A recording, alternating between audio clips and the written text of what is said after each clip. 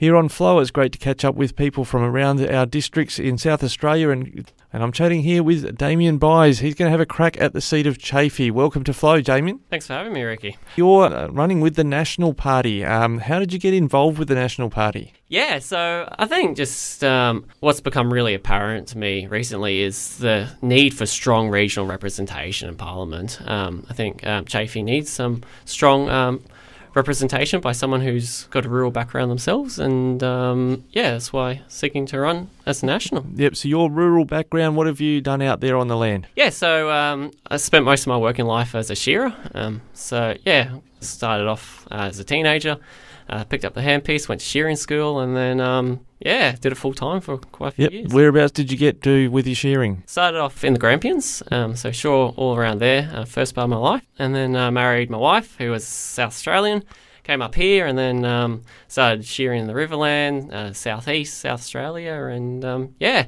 got to experience South Aussie merinos, which are a bit bigger than the Victorian ones. Yeah, right. So I dare say some people might have come across you around the traps uh, on the shearing front.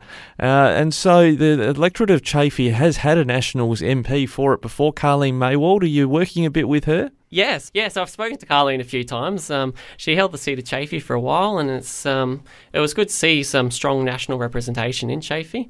And um, yeah, moving forward, I would just like to see um, strong representation of Chaffey by the Nationals again.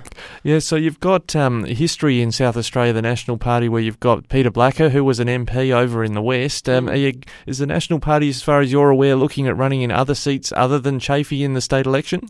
Yeah, so at the moment we've got three candidates that have um, been nominated. We've got um, Jonathan Peach out at MacKillop, and we've got uh, uh, Bruce P- Priest out at uh, Schubert, Okay, and then there's yourself as well. and then there's myself at Chaffey. Yeah, okay. And um, the the Nationals brand, I guess, the Karlene was attached to that, um, and but it has a, a longer history in South Australia. But would you be looking to run a very distinctly South Australian Nationals brand, or would you be looking to copy the policies of the, the federal National Party here in South Australia? Well, look, I think the federal nationals holds to some good stuff. So I think you will see a reflection of um, of federal policy here in South Australia. However, as South Australian nationals, you will see uh, our particular um, focus in certain areas. Yeah, and I guess one of those is going to be the River Murray and the Murray Darling Basin Plan. Are you likely to be um, on the same page as the Nationals interstate, or likely to be more the way Karlene Maywald prosecuted the argument as the Minister for Water in South Australia? Yeah, well, I think um, something that has concerned us about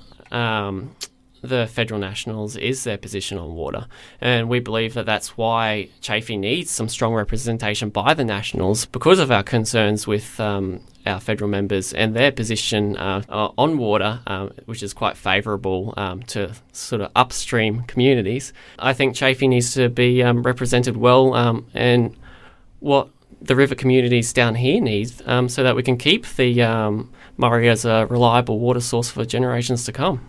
Yeah, I guess it's your argument's a bit like the federal parliament in that you've got no nationals in the party room of the National Party at the moment, but uh, if they were, then you might be able to push the case and bring the Nationals somewhere closer to a more sympathetic view to the South Australian perspective. Exactly, that's what we need. Yeah. Well, uh, Damien, it's great to be chatting with you. I know you've got to get going, but thanks for dropping in to see us here at Flow. Thanks for having me. It's been a pleasure.